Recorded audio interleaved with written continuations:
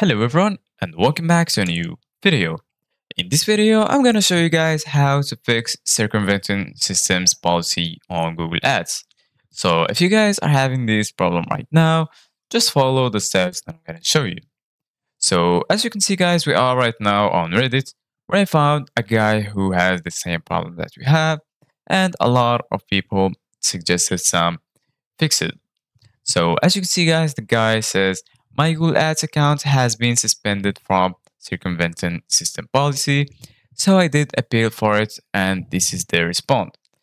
After reviewing your case and taking your feedback into consideration, we've confirmed that your account was and still is in violation of our Google Ads policy. They haven't reactivated my ads account, so I am so frustrated and devastated right now.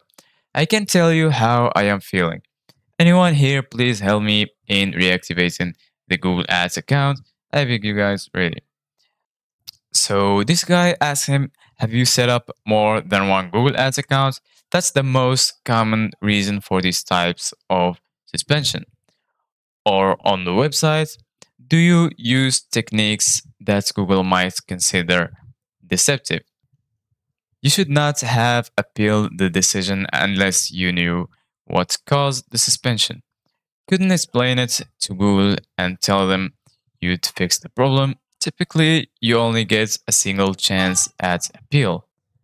So the guy says, Yes, I have ads accounts on my other Gmail accounts.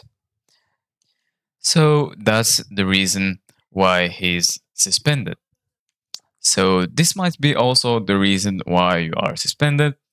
If this is the reason, then you're violating Google's ads policy.